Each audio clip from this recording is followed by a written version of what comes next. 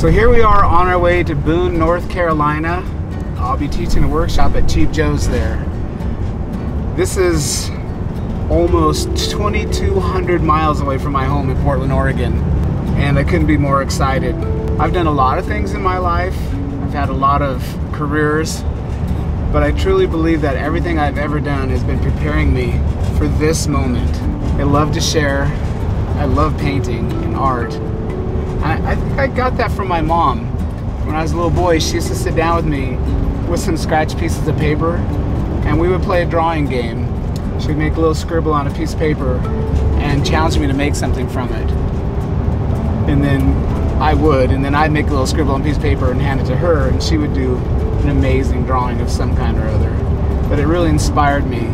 She gave me the love of art. So named after Ward Bond, who had a TV show back in those days called Wagon Train, but you might remember him as Bert the Cop in It's a Wonderful Life. And I actually have a picture somewhere, a real black and white, actually signed by, because movie stars did this in the old days, signed by Ward Bond, said to little Ward, good luck, Ward Bond. So my friends back home in Portland, when I first started on this journey, named my RV the Paintmobile.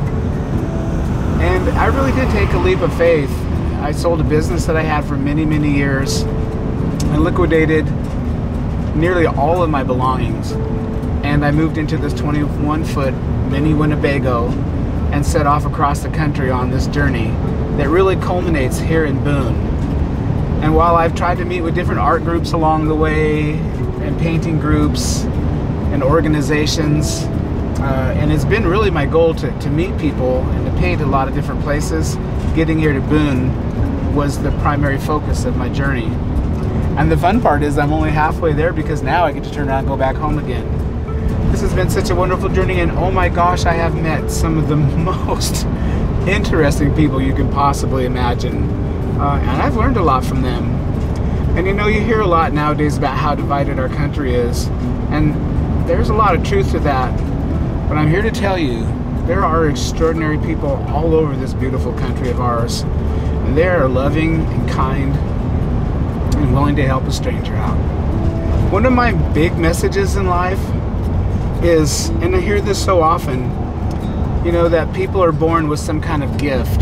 Like you have to be born special to be an artist. And I'm here to tell you it's just not true. Passion, tenacity over talent every time.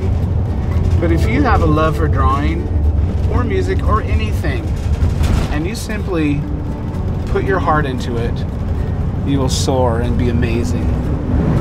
I had a really amazing experience when I was very young. I, I was a figure skater, I was a roller figure skater, and I went out and I got in this competition and decided to try something that was way over my head and I had to be carried off of the floor.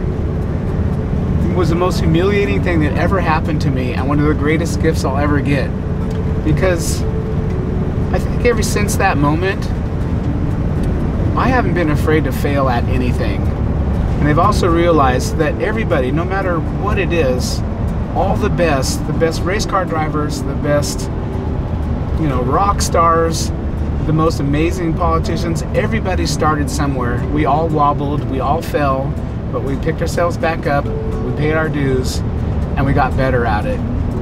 So in my life, because maybe of that uh, event, not being afraid to fail, I've tried and tried and tried at so many things. I, I was a figure skater, a professional dancer, I'm a published photographer.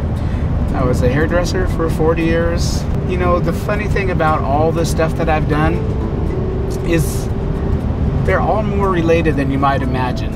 I really do strongly believe that we are a sum or culmination of all of our experiences. So when I'm painting, I mean, my brush might move like a figure skater with gentle and gracious arcs and understand the bend of a curve. Or, you know, when you need to be bold and put color in, it might be like that short time I spent boxing, although boxing hurts. Boone Town Limit right there. Here we are in Boone, North Carolina. I made it 2,200 miles from home and I finally made it to Boone, North Carolina, the home of Cheap Joe's.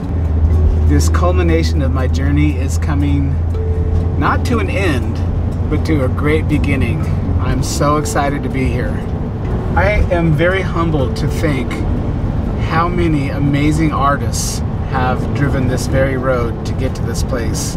I know some of my great friends and mentors and teachers have been here, and I, I, can't even tell you what a privilege it is to be following in their footsteps. And there are few places in the entire world that bring people together, especially in the arts community, like Joe Miller and all the amazing good people down at Cheap Joe's art stuff.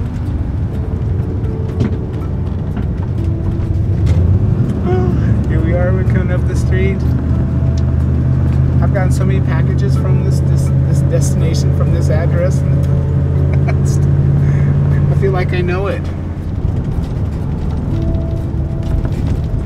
There's the sign, Cheap Joe's Art Stuff, corporate headquarters, outlet store, and a really fun place.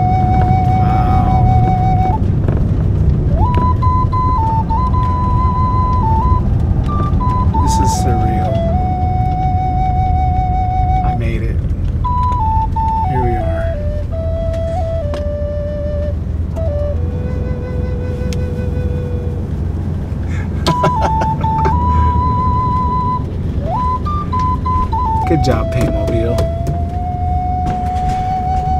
So hopefully you're enjoying this video and all the things that I've shared.